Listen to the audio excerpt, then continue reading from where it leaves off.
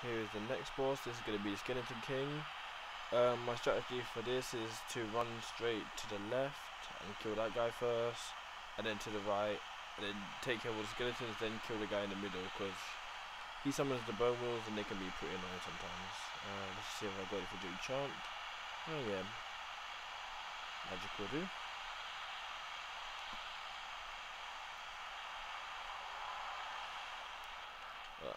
So we run straight to this guy over here.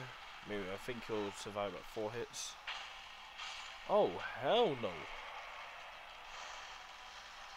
So much for the idea of four hits.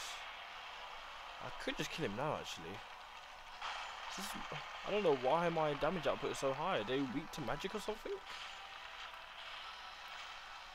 Maybe says that they're weak to um no actually no would it Huh. This is happening. Oh shit. Do we need to heal, but yep, just get them all. Line up, line up, line up. Who's first? Who's first? Oh, Logic, I'm first. Okay, yep. See, this is why I said I'll leave out the bone wheels. The bone wheels are annoying as hell. Well, they're nowhere near as annoying as they were in the first game, but still kind of annoying.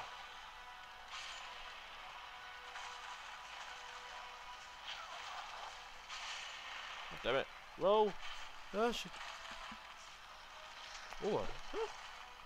Okay, I better watch out for that. Okay, the one bone wheel left and three normal skeletons. I think I'll just kill you now. It'll cause trouble if I try to heal. And with that, this fight is more or less done.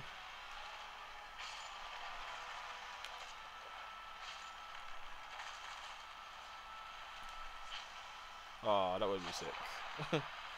oh well. Um. Yeah, see, I didn't really get to use my strategy there for uh, for some reason my damage output was a lot higher than I thought it would be. Oh well, um, that's another tactic. Use magic against these guys. Apparently they're weak to it.